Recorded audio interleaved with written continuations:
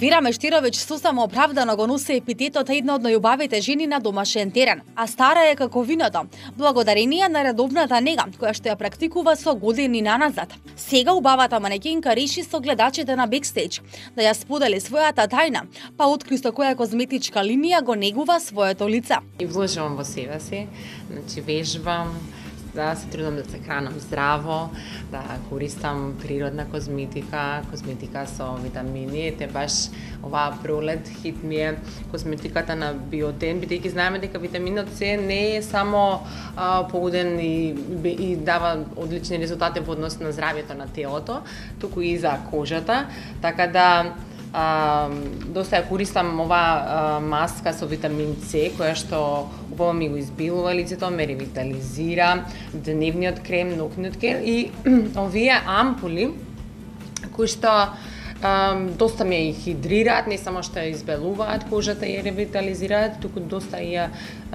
хидрираат. Објасни како изгледа незината дневна рутина на користење на производите од линијата витамин С од Биотен. Многу е лесна за употреба, а, и доста е хидрантна и доста на, на вистина е внатре е влажна, да речам, доста има.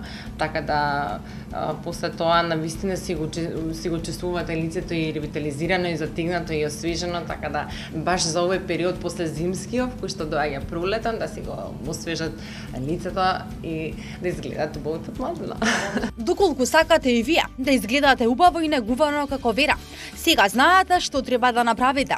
Производите на биотен од линијата витамин С се идеално решение за вас. Бидете посјајни од било кога.